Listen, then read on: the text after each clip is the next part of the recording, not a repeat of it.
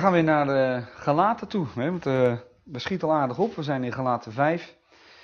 En uh, de vorige keer hebben we gehad over vers 18 tot en met 21 zo'n beetje. Nou, 16 tot en met 21. en indien gij door de geest, vers 18, geleid wordt, zo zijt gij niet onder de wet. Ehm, de werken des vlees nu zijn openbaar. Ik zal ze eens voorlezen allemaal. Welke zijn overspel, hoererij, onreinheid, ontuchtigheid, afgoderij, venijngeving, vijandschappen, twisten, afgunstigheden, toren, gekijf, tweedracht, ketterijen, nijd, moord, dronkenschappen, brasserijen en diergelijke, van welke ik u tevoren zeg, gelijk ik ook tevoren gezegd heb, dat die zulke dingen doen, het koninkrijk Gods niet zullen beërven. Maar de vrucht des geestes is liefde, blijdschap, vrede, langmoedigheid, goede tierenheid, goedheid, geloof, zachtmoedigheid, matigheid. Nou, vers 22, dat zijn de negen. En die zie je dus absoluut niet in vers 19 tot en met 21 staan. En vers 19 tot en met 21 zie je niet in vers 22 staan. Dus die staan tegenover elkaar.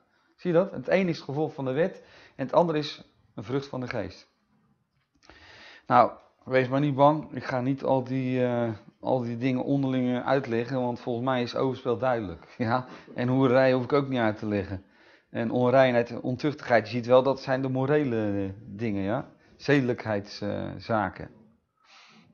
en hoererij, dat is het, dat is het, oorspronkelijk is dat het Griekse woord, heb bij mij staan, porneio, porno. Nou ja, dat is natuurlijk ook de wereld van vergeven in deze wereld, ja.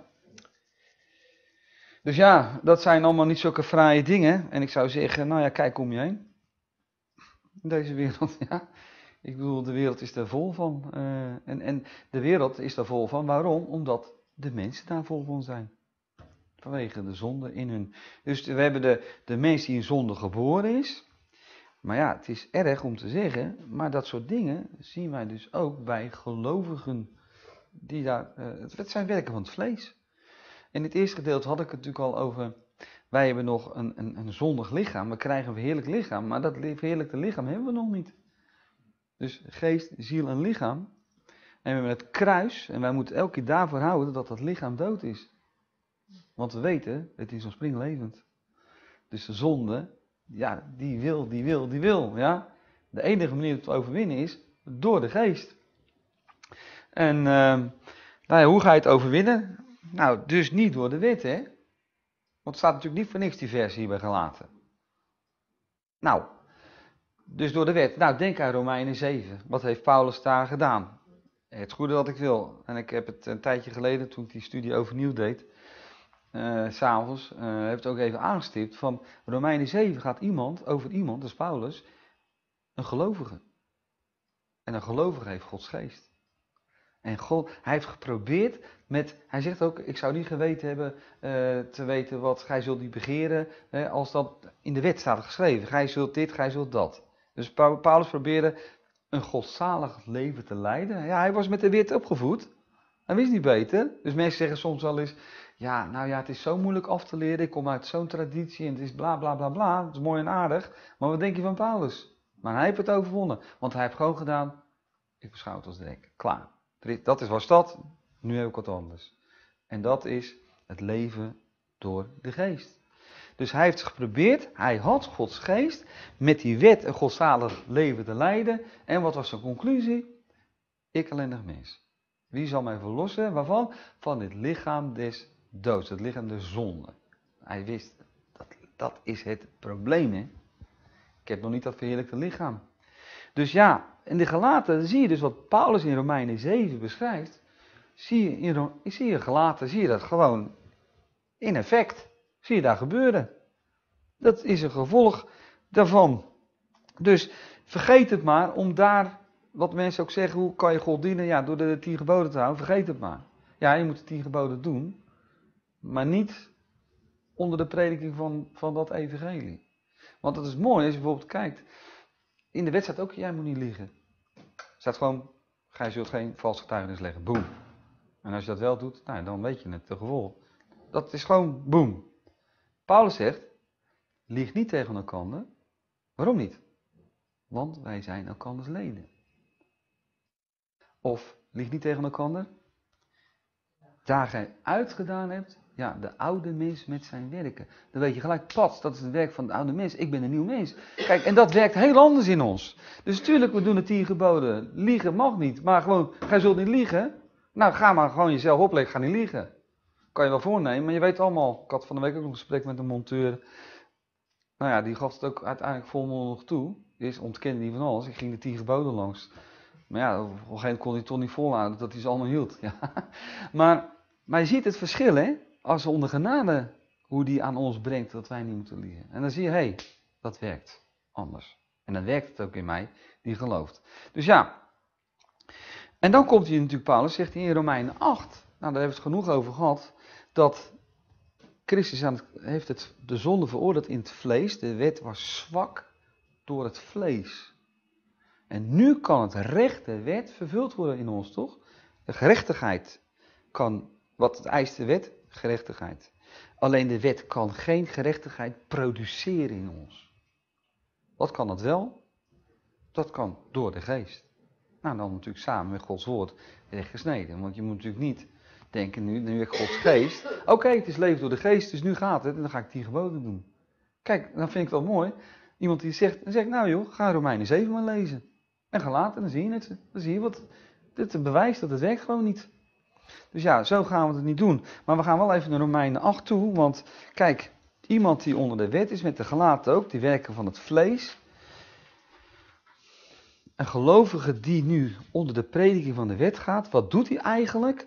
Die plaatst zichzelf weer in de positie van een klein kind. En niet van een volwassen zoon. Want Romein 8 leert heel duidelijk in vers 13. Indien gij naar het vlees leeft, zult gij sterven. Maar indien gij door de geest de werking des lichaams dood, zo zult gij leven. Dat zegt Paulus nu. Hè? Hij heeft het zelf ervaren in Romeinen 7. Nou, dat was door het vlees leven. Ik ging onder de wet, maar de werking van het lichaam, die werden niet gedood. Dat werd alleen maar levend. En nu zegt hij, maar door de geest de werkingen des lichaams dood. Zie je, het is door de geest. Onder de prediking van wat Paulus verkondigt. En dan. En dat is een vergelijkbaar vers uit gelaten feit, wat hij dat zegt, hè. Die door de geest geleid worden, zijn niet onder de wet. Dat is dit vers ook. Want zoveel als er door de geest God geleid worden, zie je, die zijn kinderen Gods. Dat wil zeggen, dat zijn kinderen Gods die wandelen in overeenstemming met wie zij zijn. Paulus zegt in, Romein, in Efeze 4, wandelt waardiglijk de roeping waarmee gij geroepen zijt, is dit de manier en niet anders. En dan word je door de geest geleid. Dat zijn de ware kinderen van God. Want het staat ook, ze zeggen, ja Jan, dat kan je wel zeggen, zo mooi, maar dat lees ik daar niet. Nou, vers 15, want, de reden, de uitleg, gij hebt niet ontvangen de geest der dienstbaarheid wederom tot vrezen, Nee, dat was, of je kan ook zeggen, dat is als jij onder de prediking van de wet gaat. En dan ben je weer dat kleine kind, want wij zijn kinderen Gods, dat wil zeggen, wij zijn zonen van God. En dan gaat hij ook daarna uitleggen, ja. Want kijk, niet de geest der dienstbaarheid wederom tot vrezen, dat komt door de wet, dat werkt, dat is het principe van als dan, dat weten jullie. Maar Gij hebt ontvangen de geest der aanneming tot kinderen, door welke wij roepen, Abba, Vader. Wij zijn volwassen zonen, ook de vrouwen hier onder ons. Wij dat gaat niet letterlijk, maar de positie van een zoon. Die, met de, die, die, die de vrije keuze heeft om God te dienen, die heeft de erfenis en God gebruikt jou in zijn plan. En hij heeft jou bekwaam gemaakt. Ja? En hij maakt ons steeds meer bekwaam door zijn woord. Waarom? Nou, er staat hier, door welke wij roepen Abba Vader. En wie riep dat ook, Abba Vader? Dat was de Heer Jezus Christus. Nou, want als je staat, wij hebben niet de geest de gevreesd. Wat, wat doe je dan mee? De geest ja. Bestaat er een geest die, is dat een soort tegen, een andere heilige, een, geest onder de wet? Het is de geest dienstbaarheid, het is een houding, ja, van, en, en dan krijg je een angst. Ja? Als je onder de dienstbaarheid bent, dan zit je onder die angst en dan ga je vrezen. Maar de Heer Jezus, hij had op dat moment vrees voor wat er komen ging. Naar de mensen gesproken, hè, menselijk gezien. Maar toch, wat stond voor hem centraal? Hier in zijn hoofd, ondanks de vrees, dat was het dienen van de Vader. En dat was ook, daarom zei hij, als, als je dat leest, Abba Vader, dan moeten we denken wie dat zei en wanneer hij dat zei. En die geest hebben wij. Diezelfde geest. Dat betekent niet Heer wat ik wil, maar wat u wilt dat geschieden. Nou, en dat vinden wij in de brief van Paulus. En niet onder de wet, want dan komen we onder die, onder die geest van dienstbaarheid, angst. En dan moet je het doen, maar de Heer Jezus deed het omdat hij het wilde. Ja? En zo is het ons ook. De liefde van Christus dringt ons. En dan ga ik niet meer naar de wet, want was, wat was de wet? De wet was gegeven in feite aan kinderen. Want wij zijn erfgenamen. En als wij erfgenamen zijn, wat zijn we dan? Zonen, zegt hij in Galaten 4. En de tuchtmeester, dat voor kinderen, die zegt constant, je mag dat wel, je mag dat niet. En die moet nog steeds geleerd worden, geleerd worden. En die heeft nog steeds niet de volwassen positie bereikt. En wij wel. Nou, en dan zie je ook, dezelfde geest getuigt met onze geest dat wij kinderen God zijn. En indien wij kinderen zijn, zo zijn wij ook erfgenamen. Erfgenamen Gods en mede-erfgenamen van Christus. Nou, zijn wij erfgenaam. Dus als wij kinderen zijn, dan bedoelt hij niet mee kleine kindertjes. Dat bedoelt hij mee volwassen kinderen. Wij zijn namelijk schepsels van God. Zonen God zijn wij. Net zoals Adam was een zoon van God. Hij was niet geboren op aarde. Als een klein. Hij was een volwassen man van 33 waarschijnlijk. Nou, dat zeg ik niet goed, dat kan niet. Hij werd toen was hij geen 33. Maar de, de, de, de hoe zeg je dat? Hoe zeg je dat nou? Uh, ik bedoel, als je geboren bent, ben je nul. Maar Adam werd niet geschapen toen hij klein was. Hij was geschapen in de, de, de gestalte van iemand van die leeftijd. Hé, nou ben ik er. Christus was natuurlijk, hij was de eerste Adam. De Heer Jezus de laatste Adam. Ik geloof dus, Christus stierf toen hij 33 was. Hij was een bediening van 30 tot 33. Ik denk dus Adam was ook zo geschapen dat hij in die gestalte zo was. Ja? Maar goed, dat, dat denk ik. Hè? Dat hoef je, als je er anders over denkt, dat mag ook. Dat uh, je ziet het voor zich. Maar in ieder geval, wij zijn zonen en dan zijn wij dus erfgenamen. En erfgenamen die met God in zijn plan werken. Nou, we gaan gauw terug. Dus als je naar gelaten, dan komen we op het punt van... Dus ja, hoe overwin je dat? Dus niet door de wet, maar door een in je positie van een zoon te gaan staan, onder leiding, niet van de wet als een klein kind, maar onder de geest van de aanneming tot kinderen, geleid door zijn woord, wat hij aan Paulus heeft geopenbaard. Nou, en als je dan kijkt in Galaten 5, en dan zie je aan het eind vers 21, zie je al die dingen staan, gelijk ik ook tevoren gezegd in vers 21, dat die zulke dingen doen, dus wat je daaronder ziet, ziet staan, het koninkrijk gods niet zullen beërven. Nou, dat is natuurlijk een, eh, dat kan een moeilijk vers zijn. Want, ja, het koninkrijk gods is dus te beërven.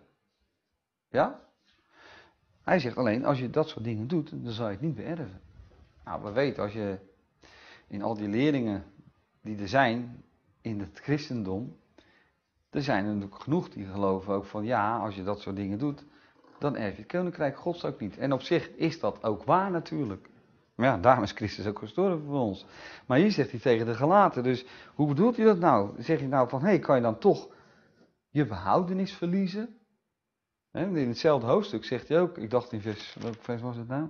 Vers 5, nee, vers 4, dat ze van de genade vervallen zijn. Dat is ook zo'n vers, daar hebben we het uitgebreid over gehad. Dat men denkt, hé, hey, ik ben van de genade vervallen. Dus, uh, hoe heet het ook weer? Je hebt Calvijn en je hebt Arminius. Die leren natuurlijk, zolang je blijft geloven, dan blijf je gered. Zolang je niet meer gelooft, ga je verloren. of, of, je doet, de Calvinist zegt, ja, maar als je zulke dingen doet, nou, dan was je toch niet wederom geboren. Ben je toch geen kind van God geweest? Dat kan niet. Dus dat zijn allemaal van die leringen. En dan moeten wij denken, hé, hey, waar sta ik in dit? Nou, bij geen van beide. Ik sta in wat Paulus leert. En dan zeg ik, wacht even, nou moet ik even goed nadenken. Dat moet je altijd doen, hè. Goed nadenken. Dus het koninkrijk beërven. Nou, hoe ik heb toch de erfenis of niet? Maar kan ik het dan kwijtraken? Kunnen mensen dit kwijtraken? Want ik, ik moord niet. Nee, inderdaad. Ik doe toch ook niet... Nou ja, ik ben ook wel eens afgunstig, toch? Ik ben ook wel eens toornig. En dan weet ik van Efeze 4 zegt hij, uh, laat de zon niet ondergaan. Dus uh, gelovigen kunnen dat dingen doen. En ja, we weten allemaal, niemand is vrij van ons daarvan. Niemand van onder ons uh, is wel zonder zonde in positie. Maar in wandel kan niemand zeggen hier dat hij zonder zonde is. Waarom zou Paulus anders zeggen, vergeven elkaar, hè? Zoals dus dat gebeurt nog. Dus dan kom ik toch een beetje in problemen als ik niet precies weet wat ik hier nou mee aan moet. Ja? Nou, overdenk dus. Wat zegt Paulus in Efeze? Dan ga ik er eerst overdenken als ik in twijfel kom, wat is mijn positie? Dan moet je altijd teruggaan. Nou, dan weet je, nadat gij geloofd hebt, zijt verzegeld geworden met de Heilige Geest de belofte. Dat weet ik, dat is één. Dus dat is, ja, ik ben een nieuw schepsel. Maar die Heilige Geest heb ik ontvangen als wat? Als een onderpand van? Hè? De verkregen erfenis. De verkregen erfenis. Hij zegt ook in Efeze dat wij zijn een erfdeel geworden, toch? Efeze even zelf. Dus aan de andere kant zeg je, hé, hey, dus ik heb een erfenis. Maar kan ik die erfenis dan kwijtraken? Paulus zegt ook in Colossense dat wij zijn overgezet in het koninkrijk van de zoon zijner liefde. Dus ik ben overgezet. Ben ik nou weer? Als ik dat soort dingen doe, word ik dan weer teruggezet, ja? En, hij zegt ook uh, dat hij heeft ons bekwaam gemaakt deel te hebben in wat? Wie weet het? Colossense 1 vers 11. Nou, laat me even lezen. Colossense 1 vers 11. Hij heeft ons bekwaam gemaakt deel te hebben in de in de erven, nou dat betekent de erfenis. Colossense 1 vers 12 dankende de Vader die ons bekwaam gemaakt heeft om deel te hebben in de erven der heiligen in het licht. In de erfenis van de heiligen in het licht. Kijk, die ons getrokken heeft uit de macht der duisternis en overgezet heeft in het koninkrijk van de zoon zijn liefde. Dus wat zie je in deze versen staan? 1, 2, 3, 4 keer heeft. Nou, heeft, één keer staat hebben. Maar dat betekent ook, dat heeft met hebben, met bezitten te maken. En hij heeft het gedaan. Zie je, zie nou, jij hebt drie keer heeft en één keer hebben. Dus het is gebeurd. En ik heb het. Dus ik heb die erfenis. Ik ben er ook in overgezet. Dus als je dat over nadenkt, denk ik, oké, dat is duidelijk. Dat is mijn positie, ja. Nou, dus hoe kan wat, wat, wat moet je hier nou mee? Ik bedoel, als je dit soort dingen doet, die zulke dingen doen, zullen de koninkrijk Gods niet beërven. En ik lees nu net, ik ben overgezet in de koninkrijk. Dus ik heb een probleem, toch? Op zich, als ik niet beter weet. Nou, ga naar 1 Korinthe 6. Ook even een vergelijkbare tekst, hè? En dan zie je in vers 1 Korinthe 6, vers 9. Of weet gij niet dat de onrechtvaardigen het koninkrijk gods niet zullen beërven? Nou, dat laatste weer gelaten dus ook.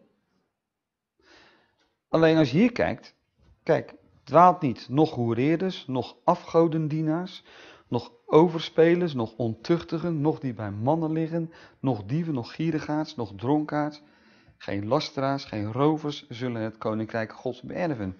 Dus als je hier kijkt, hier in Galaten spreekt je heel duidelijk over de, de daden. Hier spreekt hij over de doeners. Ja, degene die het plegen, dat is een identiteit. Dat zie je heel duidelijk staan, ja. Dat zijn ongelovigen. Hij zegt de onrechtvaardigen, dat zijn de ongelovigen, zullen het niet beërven. En dan noemt hij een rijtje. Nou, dat zijn degenen die dat niet zullen beërven. Ja, dat is de wereld om ons heen, dat zijn ongelovigen. Maar als je in vers 11 kijkt, dus dat zijn de personen die dat soort dingen doen, de onrechtvaardigen, en dan noemt hij een aantal die, nou ja, en dan zie je het uitvloeisel. Wat doen die? Nou, kijk maar in Galaten 5, zie je de werken van het vlees. En dan zegt hij in vers 11, en dit waard gij. Zie je, dit gaat over hun identiteit, hun positie. Corinthiërs, jullie waren zo, maar gij zijt afgewassen, gij zijt geheiligd, gij zijt gerechtvaardigd in de naam van de Heer Jezus en door de geest onze Gods. Dus als je hier kijkt, hier zie je een verandering van identiteit. Jullie waren onrechtvaardigen. Jullie waren ongelovig. Jullie waren, kijk vers 10, nou, eh, de een was misschien dit, de ander was dat. Of was, misschien was iemand die deed het allemaal wel. Hij zegt, zo waren jullie en jullie konden het koninkrijk gods niet beërven. Maar nu zegt hij, jullie zijn afgewassen, jullie zijn gerechtvaardigd, jullie zijn geheiligd. Ze hebben een nieuwe identiteit. In Gods ogen zijn ze nu rechtvaardigd. En dat heeft, is gebeurd in de naam van de Heer Jezus en door de geest onze Gods. Omdat ze hebben het evangelie van Gods genade, ze hebben het geloofd. Ze hebben erkend hoe God over hen sprak, namelijk negatief, ze zijn zondaren, maar dat hij van hen houdt en dat hij zijn zoon heeft gegeven, zodat ze een nieuwe identiteit hebben gekregen. Een verandering van identiteit, zie je het? Dat is met ze gebeurd. Dus ja, wat dat betreft is er dus het een en ander veranderd. Nou, dus zij zijn geen onrechtvaardigen meer en zij, met andere woorden, volgens 1 Korinthe 6, beërven zij dus nu het koninkrijk. Nou, gaan we mee naar Efeze. Of naar Colossens 3. Dan hebben we ook nog de erfenis in verband met het dienen. Ja? Colossense 3, vers 24. Ik, als ik vers 23 ook lees, Colossense 3, vers 23. En al wat gij doet, doet dat van hart als voor de Heer en niet voor de mensen. Wetende dat gij van de Heer zult ontvangen de vergelding der erfenis. Want gij dient de Heere Christus. Maar die onrecht doet, die zal het onrecht dragen dat hij gedaan heeft, want er is geen uitneming des persoons. Dus je ziet hier heel duidelijk erfenis in verband met het dienen. In de gehoorzaamheid des geloofs. Want dat bedoelt hier, ja. Je zal van de Heer de vergelding van de erfenis. Waarom? Omdat je de Heer dient. En als je onrecht, je ziet het staan, doet, dus dit gaat over praktijk, dan zal je het onrecht dragen. Maar wat bedoelt hij daarmee? Dat is voor de rechtsstoel van Christus, uiteraard. En ook in je persoonlijk leven kan je natuurlijk, als je ongerechtige dingen doet, ja, dan kan je ook eh, geconfronteerd worden met, eh, met de politie of met eh, overtreding van de wet en dat soort dingen.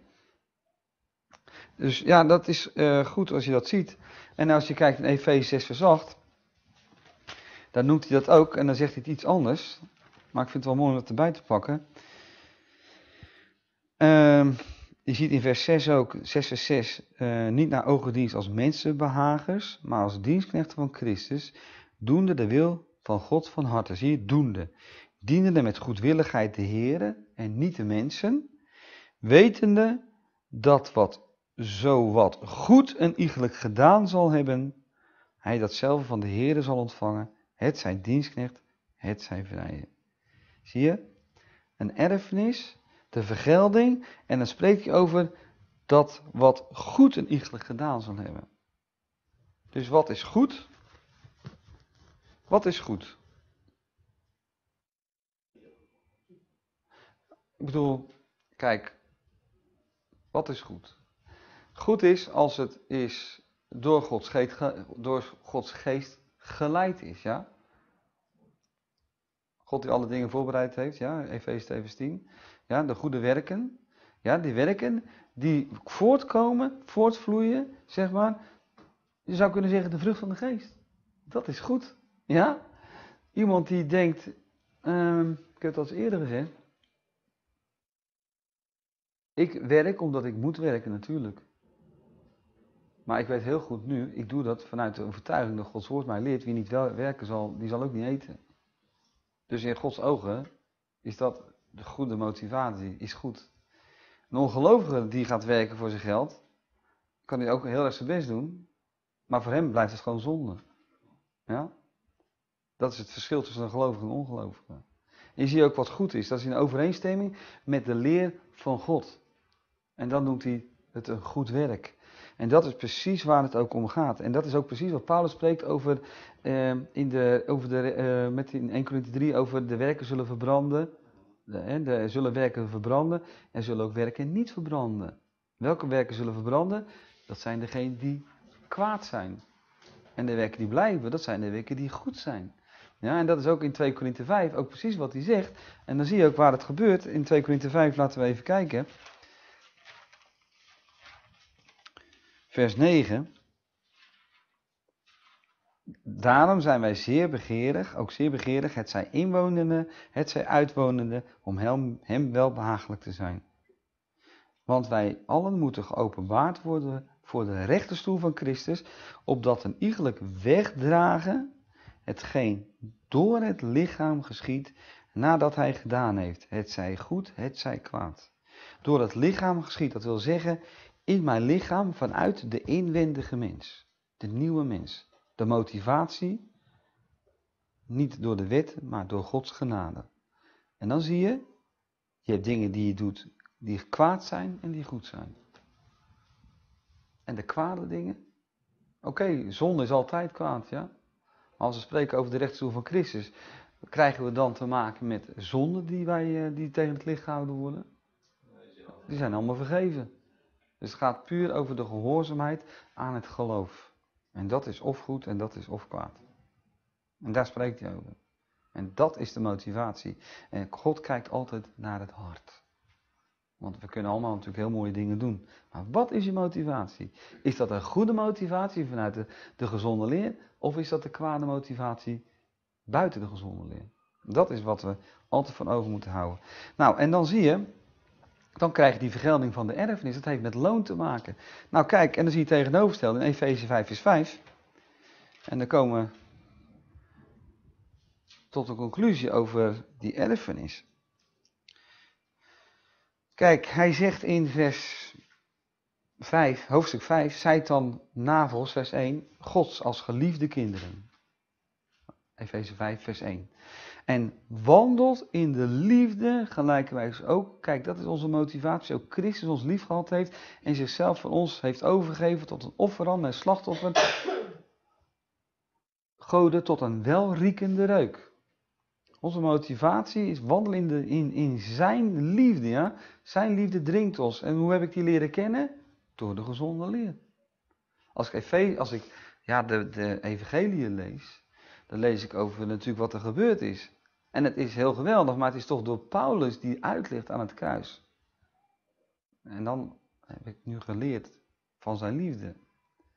En dan zie je, maar hoererij en alle onreinheid, gierigheid, is dat een werk van de vlees of van de geest? Van de vlees, toch? Laat ook onder u niet genaamd worden. Geloven die ontkennen dat er geloven dat niet kon doen, die lezen de Bijbel niet. Laat ook onder u niet genaamd worden. Gelijk het de heilige betaamt. Heiligen horen zulke dingen niet te doen. Maar ze kunnen het wel doen. Nog oneerbaarheid. Zot geklap of gekkenij. Denk je, mogen wij niet blij? Tuurlijk, wat is de vrucht van de geest? Blijdschap. Maar is dat zot geklap? Ik dacht dat niet, hè? Dus niet wat men wel zegt, je moet altijd maar zo lopen met zo'n heilig gezicht, wat je ook al eens, uh, weet je wel, dat is die gedaante. Godzalig, nee, een ware blijdschap van de geest. Verheug mij in de dingen van de Heer. En dan ook in, in, in het leven, maar ik bekijk het vanuit Gods perspectief. En dingen keur ik af natuurlijk in de, in de wereld, maar ik laat mijn blijdschap niet wegnemen daardoor. Ik weet dat is de zonde. En ik, ik hoop mensen het evangelie te kunnen vertellen, omdat ik blij ben. Ja? En ik verheug me daarin. En natuurlijk vind ik het ook leuk uh, als, ik een, uh, als ik een nieuwe auto rijden. Ben je ook blij? Ja, maar ja, je weet dat. is na een week, twee weken is dat weer voorbij. Nee, het is blijdschap van de geest. En dan zie je geen zot geknap of, uh, geklap of gekkernij. Welke niet, kijk, niet betamen, maar veel meer dankzegging. Want dit weet gij, dat geen hoereerder of onreine of gierigaard die een afgodendienaar is, erfenis heeft in het koninkrijk van Christus en van God. Zie je dat? Maar hij spreekt tegen gelovigen, die hebben een erfenis. Maar hij spreekt hier over een erfenis in het koninkrijk. Dus Paulus spreekt heel duidelijk, gelovigen, wij weten, die hebben een erfenis. Dat is het koninkrijk van God. Maar een erfenis in het koninkrijk van God, dat heeft te maken met hier, met die wandel. En dat heeft met je loon. En dat is het erfenis. Net zoals net lazen in Colossense. Dat een dienstknecht, ja, je krijgt de vergelding van de erfenis. De gehoorzaamheid van het geloof. En dat is het punt. En dan zeg je, ja, maar wacht even. Maar nou snap ik nog steeds. Gelaten vijf niet dat hij zegt, die zulke dingen doen. Over wie spreekt hij daar? Hij spreekt tegen de gelaten gelovigen. Maar kijk, ik heb een vers gevonden. En dat drong pas gisteren tot me door. Ik heb dit vaker uitgelegd. Maar toch dacht ik, hé, hey, wacht even. Dit slaat helemaal de spijker op zijn kop. Gaan we naar Colossense. Om daarmee te vergelijken Galaten 5. En dan kom je, je eruit. Colossense 3 vers 6. Wat staat daar? Ik lees vers 5. Wat zegt hij daar? Dood dan uw leden die op de aarde zijn. Nou, dat is het lichaam der zonde. Namelijk hoererij, onreinheid, schandelijke beweging, kwade begeerlijkheid en de gierigheid welke is afgodendienst. En wat staat erachter? Om welke de toorn gods komt over de kinderen der... Zijn wij dat? Nee. Maar hij zegt wel, die zulke dingen doen, ja. Hij spreekt hier over dat soort dingen, daar komt de toorn over, maar over wie? Over de ongelovigen, die doen dat soort dingen. En daarom zegt hij ook, leg dat af, want kijk in vers 7, in de welke ook gij eertijds hebt gewandeld, toen gij daarin leefdet. Maar nu legt ook gij dit alles af. En dan zie je die dingen erachter, gramschap, enzovoort, enzovoort. Met andere woorden, hij zegt, de wereld doet dat soort dingen. Ja? Daar komt de toorn van God over. Dat laat hij zo zien, dat maakt het juist sterker. Dat je denkt, ja, kijk, dat doet de wereld. Daar komt Gods toorn over. Kijk, dat is net zoals met Adam. Wat is een zonde nou? Ja, een vrucht. Gods toorn kwam wel over die ene zonde. En dan denk je, nou ja, was dat nou niet zo'n hele zware zonde in ons ogen? Toch een zonde. God is te heilig dat hij zonde kan zien. Dus ja, dus dan zie je al die soort dingen. Dan zegt hij, heiligen, jullie zijn heiligen, dat soort dingen. Dan komt de toorn van God over, over, de, over de wereld die dat soort dingen doen. Daarom leg dat soort dingen af. Jullie moeten dat niet doen. Nou, terug naar Galaten. En dat is precies wat hij in Galaten ook bedoelt te zeggen. Hij noemt de werken van het vlees. Want ik vind het persoonlijk moeilijk in vers 21 dat daar moord tussen staat voor een gelovige. Ja? Toch kan het. Je kan zo afgeleid worden van de leer. Dat wat ik vertelde over die Kores bijvoorbeeld. Ik weet, ik weet het niet, ik heb er niet genoeg over gelezen. Misschien was hij geen kind van God, maar misschien ook wel, ik weet het niet. Maar er zijn dingen gebeurd met die Jones toen. In uh, Jonestown heette dat, toen in Paraguay. Weet je nog, die secte, 900 mensen zelfmoord gepleegd. Bij mijn weten zaten daar kinderen nog bij. Die geloofden Christus voor hun zonde. Die man heeft het evangelie verkondigd, die Jones in Amerika, heeft hij echt verkondigd hoe mensen gered konden worden. Ja, zie je wat er kan gebeuren. Maar wat hier in vers 19 tot en met 21 staat, hij zegt, gelijk ook tevoren gezegd heb tegen jullie dat die zulke dingen doen, het koninkrijk gods niet zullen beërven. Dus in zijn algemeenheid, dat doet het vlees bij de ongelovigen. Net zoals in Colossense 3. En die zullen het koninkrijk gods niet beërven. En jullie doen dat soort dingen omdat jullie onder de wet gaan en helemaal in het. Jullie zijn in de geest begonnen, maar jullie eindigen in het vlees. En wat doet het vlees? Dit zijn de werken van het vlees. Dus de ernst van de zaak wordt hier wel heel erg mee benadrukt. Maar wij hebben natuurlijk gelukkig wel die erfenis. Maar als je dit soort dingen doen, doet, nou kijk naar de mens gesproken zou je zeggen, ik ben God niet. Maar dan zou je zeggen, nou eens luisteren, Wegwezen jullie, allemaal de hel in. Toch? Maar goed, God is gelukkig een genadige God en een barmhartige God. Maar als je in openbaring 20 kijkt en in 21, dan zie je allemaal, nou laten we even kijken. Die plaats, die zulke dingen doen, zullen het koninkrijk Gods niet beërven. En dan zie je in openbaring, even kijken, stond het? 20 vers 14.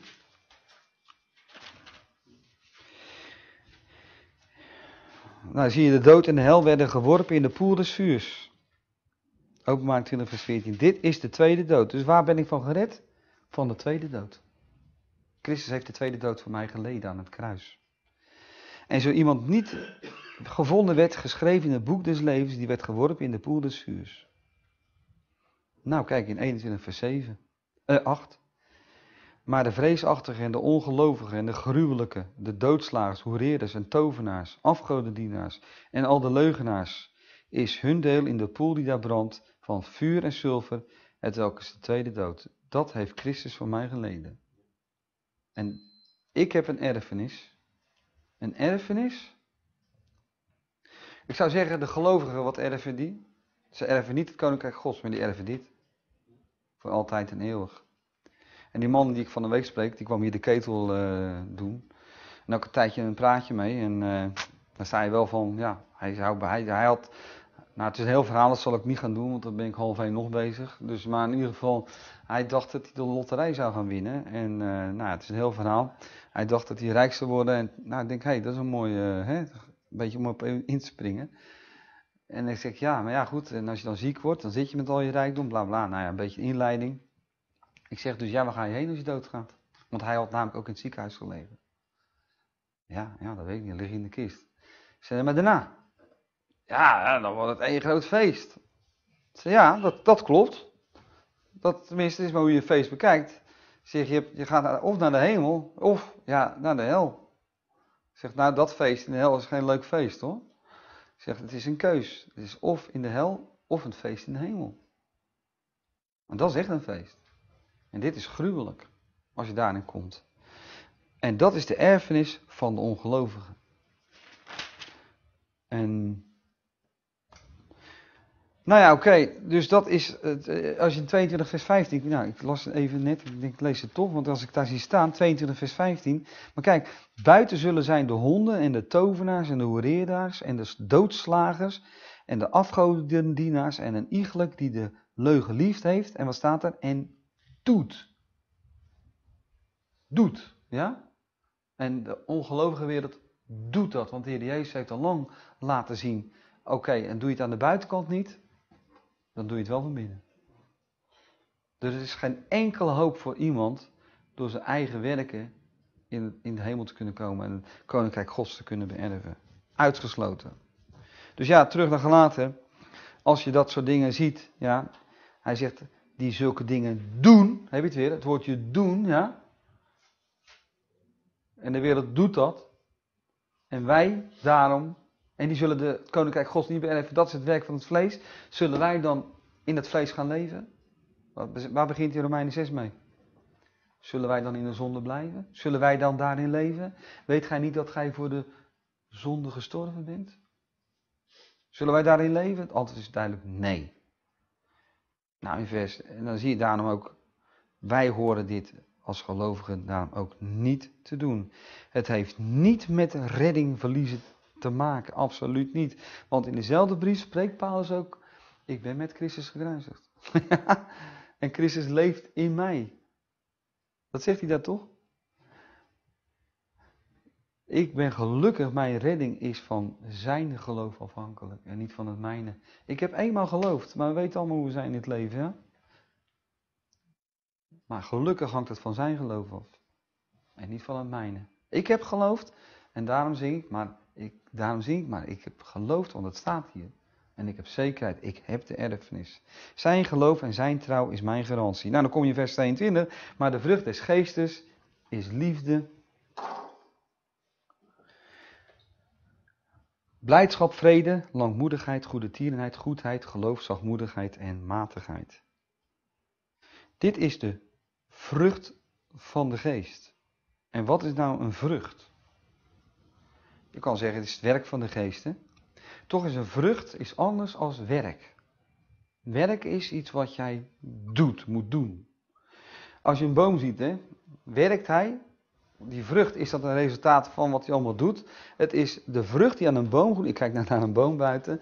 Maar de vrucht is een natuurlijk resultaat van het leven wat in die boom is. Ik weet ook wel, er komen sappen naar boven. Als je daarover nadenkt, is dat al een wonder dat die wortels allemaal dat sap opzuigen, ja? Maar het is toch een heel natuurlijk resultaat dat dat bij die, die takken komt en bij die blaadjes. En dan zie je op een gegeven moment, tegenwoordig kunnen ze dat heel mooi filmen. Dan doen ze natuurlijk, staat daar uh, maanden een camera en dan zie je dat allemaal heel snel groeien. Hè? En dan zie je zo die bloem opengaan en zie je zo een vrucht uitkomen. En er komt, uit die boom komt altijd die vrucht. Altijd die appel of die peer. Daar staan wij niet bij na, omdat je kijkt ernaar. En, maar als je kijkt vanuit de schepping, denk je hoe wonderlijk dat is. Het is een natuurlijk iets wat er gebeurt. Het is een eenheid, ja.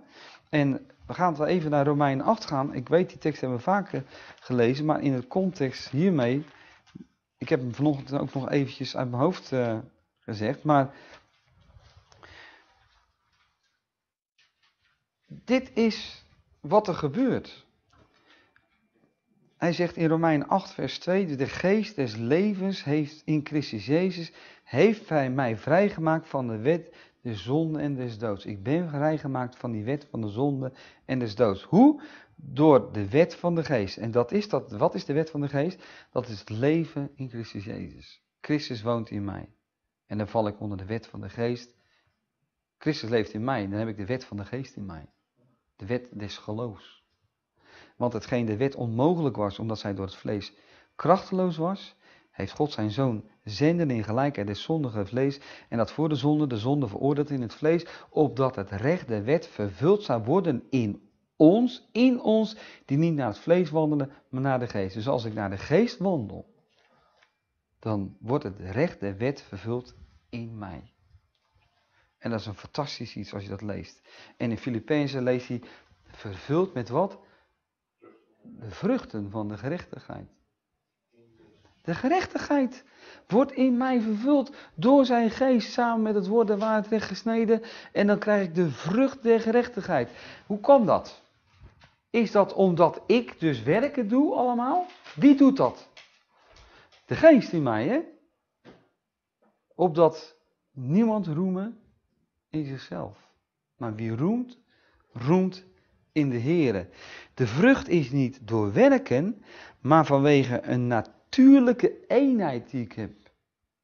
Dat is toch voor de boom een heel natuurlijk iets dat daar die vrucht uitkomt. Hij is nou eenmaal een appelboom. Dat is zijn natuur. Ik ben natuurlijk, van nature ben ik natuurlijk een zondaar.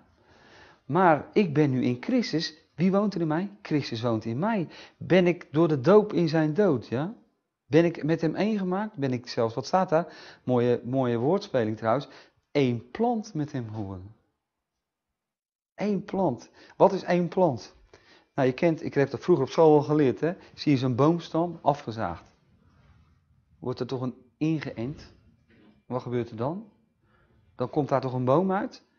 Is, die boom is één geheel met, met waar die ingeplant is. Fantastische beeldspraak, toch? Wij zijn één daarmee. En dan zie je dat die, die end, wat ik dan ben in Christus, zie ik dan, ik ben helemaal met hem vergroeid, helemaal één geworden. Dus daarom is mijn, nu mijn nieuwe natuur, ik ben een nieuw schepsel, is het ook heel natuurlijk dat ik ook vrucht ga dragen door zijn geest. Snap je? Dus dat is, daarom heet het ook niet het werk van de geest, het is het, de vrucht van de geest. Het werk, dat is wat het vlees in mij doet. En wat ik allemaal in mijn vlees doe, denk om te verdienen. Maar dat is niet wie ik ben.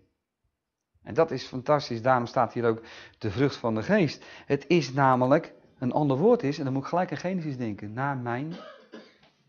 Hoe werd alles geschapen? Dieren werden geschapen naar? Naar zijn aard. De boom werd geschapen naar zijn aard. De dieren werden geschapen naar zijn aard. En dat is de weerlegging voor de evolutietheorie. Waarom? Wat betekent naar zijn aard? Dat uit die appelboom komt altijd weer een appelboom. En een, een big, er komt een vark, dat komt altijd weer uit.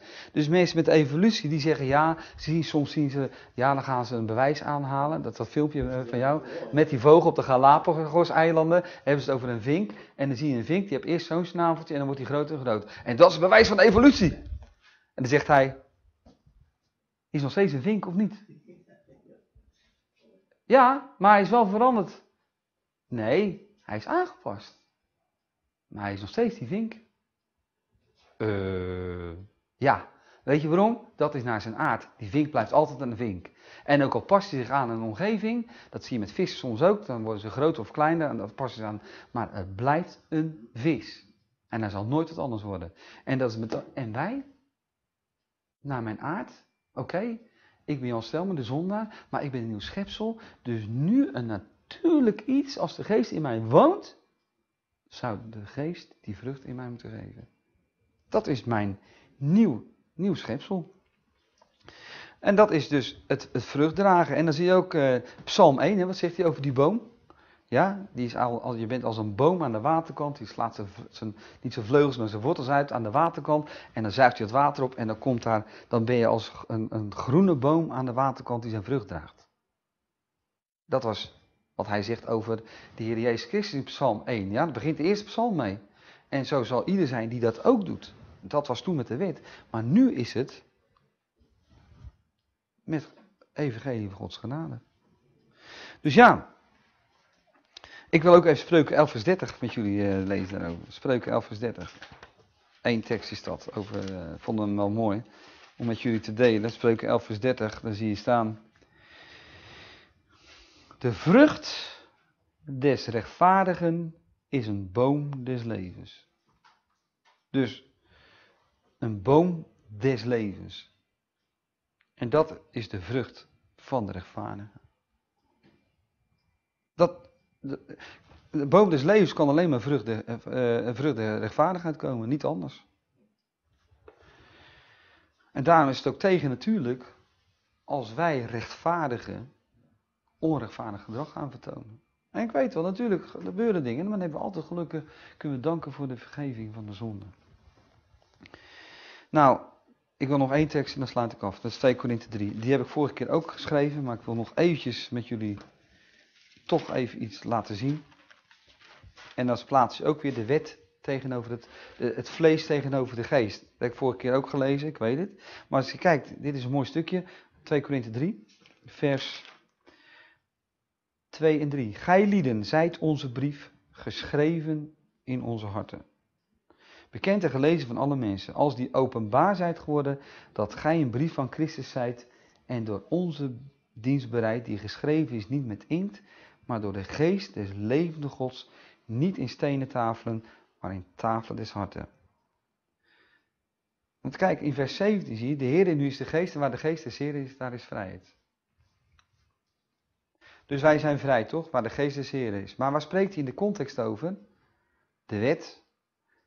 Maar hij zegt, waar de geest is, de Heer is, daar is vrijheid. Met andere woorden, onder de wet heb je geen vrijheid en daar is de geest ook niet. De geest is nu in mij. En wat doet de geest nu? Wat is in mijn hart geschreven, ja?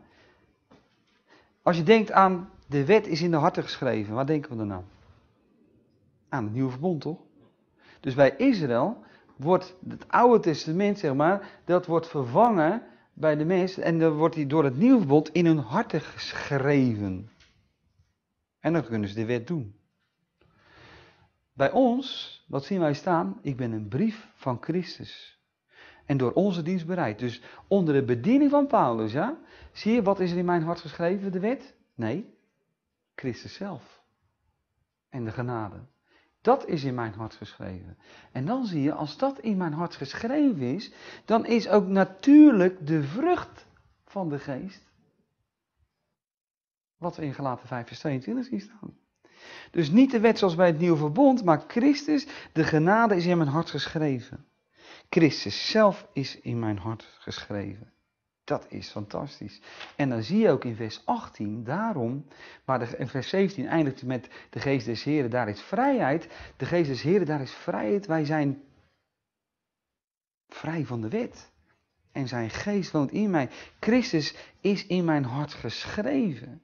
En zie in vers 18, wij alle met ongedekte aangezichten de heerlijkheid des Heren als in een spiegel aanschouwen. Paulus zegt, door onze dienstbereid, door mijn evangelie, ja, is Christus in jullie hart geschreven. Dus als je ook in mijn evangelie leest en aanschouwt, dan word je naar hetzelfde beeld, kijk dan, in gedaante, waar heb je dat? Wat staat daar? Veranderd. Van heerlijkheid tot heerlijkheid als van de Heere Geest, dus door de Geest van de Heere. Maar je ziet, wij worden veranderd. En weet je, dat woordje, dat is in het Grieks, ik ben geen Grieks expert, maar als ik Grieks gebruik, dan gebruik ik het niet om het woord te veranderen, maar om te laten juist zien dat het, wat het woord dus, kan soms een mooie uitleg van zijn. Metamorfose is het origineel. Wat is een metamorfose? Een verandering. Een rups die verandert in een vlinder. En zo is het met ons ook. Wij waren zeg maar die rups en wij worden veranderd in die vlinder. Dat betekent dat Christus krijgt de gestalte in ons. Dus ja, en dat is, en dan gaan we nu, uh, nu stop ik, Gelaten 5 vers 22. Gaan we de volgende keer verder. En dat is dus de vrucht van de geest. Laat Gods genade, die in jou geschreven is, tenminste dat hoop ik, als je het evangelie van God, eh, van, van, van, van Paulus, wat hij heeft verkondigd, ook aangenomen hebt, dat, dat, dan is hij in je hart geschreven. En dan gaat hij het in jou doen, door zijn geest. En dan word je veranderd. Door zijn geest. En dat is gelaten 5 vers 22. En daarom is de wet daar ook niet tegen. Want dan zie je de wet. Dan zie je de vrucht van de geest. Liefde, blijdschap, vrede. Langmoedigheid, goede tierenheid, goedheid. Geloof, zachtmoedigheid, matigheid. Tegen de zodanige is de wet inderdaad niet. Natuurlijk niet. Want de liefde, ja, dan zie je de vrucht van de geest, die zie je hier in drie elementen. Het zijn er negen.